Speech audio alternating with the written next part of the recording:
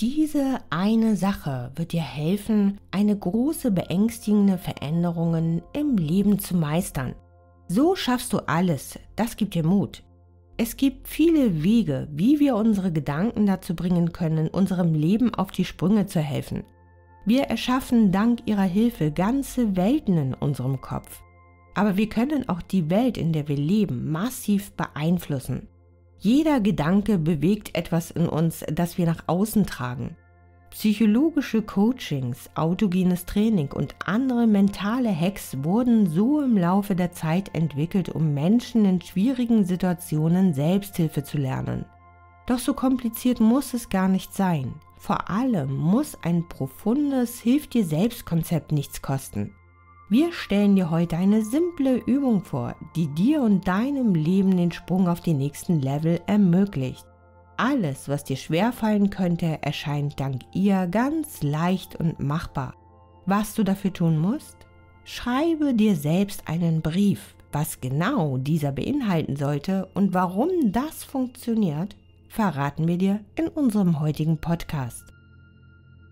Nummer 1. Warum ein Brief? Die hohe Kunst des Briefeschreibens scheint beinahe ausgestorben zu sein. Tatsächlich aber hätte das Schreiben mit der Hand viele Vorteile zu bieten, die das Tippen auf einer Tastatur uns nicht liefern kann. Angeblich ist die Handschrift unsere direkte Verbindung zwischen Kopf und Hand, die ganz nebenbei auch noch die Herzgegend mit einbezieht. Alles, was wir uns auf diese traditionelle Weise von der Seele schreiben, ist schon so gut wie verarbeitet. Schreiben wird immer noch als therapeutische Intervention empfohlen, um Gedanken und Gefühle gleichermaßen zu ordnen. Nummer 2. Was steht in diesem Brief? Bevor du große Veränderungen anpackst, empfiehlt sich eine Bestandsaufnahme. Das Aufschreiben aller Gedanken, die diesbezüglich durch deinen Kopf rasen, hilft dir beim Sortieren. Die persönliche Ansprache stellt eine unmittelbare ich-bezogene Verbindung her. Du allein und höchstpersönlich bist dann in der Pflicht, kein nicht näher zu definierender Mensch, der in die Gänge kommen sollte. Wichtig, sei verständnisvoll, ja, auch und vor allem dir selbst gegenüber. Keine Meisterin und kein Meister sind je vom Himmel gefallen. Neuland zu betreten ist beängstigend und mit großen Unsicherheiten verbunden. Nummer 3. Die Meinung anderer darf dich kümmern. Umwälzende Veränderungen sind keine Kleinigkeit. Dieser Brief soll dir verdeutlichen, dass du das Projekt Wandel ernsthaft und strategisch angehen möchtest. Teile dem Blatt Papier deine Gedanken und Gefühle mit, aber es spricht auch nichts dagegen, vertraute und dir nahestehende Menschen in deine Überlegungen mit einzubeziehen.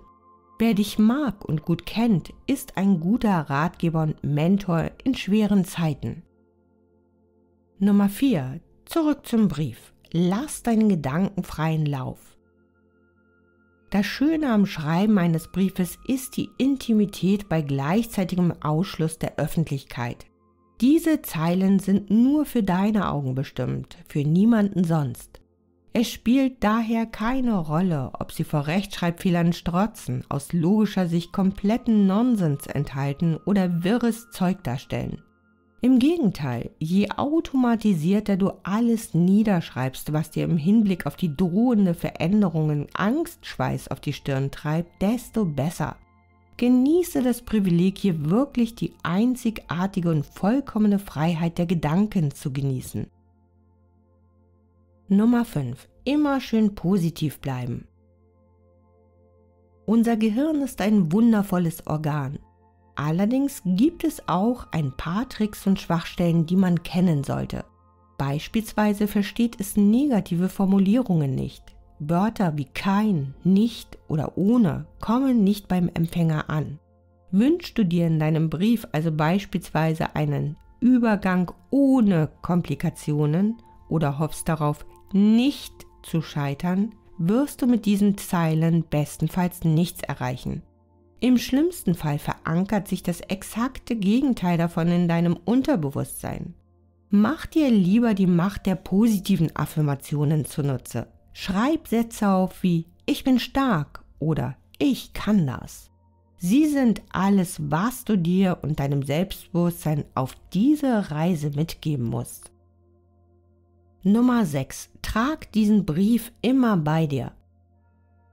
Du kannst ihn in die Tasche stecken oder abfotografieren. Natürlich kannst du ihn auch digital verfassen, um immer darauf zugreifen zu können. Solche mentalen Krücken sind kein Kinderkram. Die Psychologie kennt viele solcher Tricks, bei denen man Menschen etwas in die Hand gibt, woran sie sich sprichwörtlich bei Bedarf festhalten können. Diese Zeilen erinnern dich daran, dass du das Problem erkannt und dich ihm angenommen hast. Du bist eine Macherin oder ein Macher, kein Opfer der Umstände. Allein schon diese Erkenntnis kann in schwierigen Lebenslagen Gold wert sein. Nummer 7. Regelmäßiges Überarbeiten erwünscht. Nichts ändert sich schneller als eine Zeit, die dem Wandel unterliegt. Die Ereignisse können sich überstürzen und deine Lebensumstände mit ihnen. Halte diesen Brief daher immer up-to-date. Ergänze Wichtiges, das dir rückwirkend noch eingefallen ist oder streiche Passagen, die sich erledigt haben. Halte dich auf dem Laufenden, was in deinem Leben gerade passiert. Nummer 8. Mache diese Zeilen zu deiner täglichen Lektüre. Der beste mentale Kunstgriff nützt nichts, wenn du ihn unter Verschluss hältst wie einen kostbaren Schatz, den niemand sehen darf. Gewöhne dir ein tägliches Ritual rund um diesen Brief an dich selbst an. Lies ihn jeden Tag, entweder morgens oder abends. So beginnt und oder endet dein Tag mit dem Fokus auf dieses Projekt. Du bleibst so auf Kurs, was deine Vorhaben betrifft. Sie können Angst und Zweifel in dir auslösen und dich immer wieder zu negativen Selbstgesprächen führen. Solche überwältigenden Gefühle und Gedanken mutieren dann schnell zu destruktiven Gewohnheiten. Unser heutiges Fazit. Schreib dich nicht ab. Es mag dir seltsam vorkommen, einen Brief an dich selbst zu schreiben. Doch diese Taktik bietet viele Vorteile, in deren Genuss du sonst nicht kommen würdest. Ein Brief spricht dich persönlich an. Du und nur du allein bist gemeint. Außerdem kannst du deine Gedanken und Gefühle schriftlich besser ordnen. Du legst dir eine Strategie zurecht, die aber noch keinesfalls makellos oder perfekt sein muss, denn außer dir liest sie ja niemand. Du motivierst dich mit diesen Zeilen, bleibst am Ball und hast in Zeiten des Zweifels und der Unsicherheit etwas, woran du dich festhalten kannst. Das Schreiben ist schon lange bekannt dafür, ein therapeutisches Universalheilmittel zu sein. Jeder Gedanke, den du zu Papier gebracht hast, spukt nicht mehr in deinem Innersten herum. Er ist nun Realität. Damit kannst du arbeiten. Wenn dir unser heutiger Podcast gefallen hat, dann gib uns gern einen Daumen nach oben. Und um keine neuen Beiträge zu verpassen, abonniere unseren Kanal Spirituelle Welt. Das war's für heute. Vielen Dank und bis bald.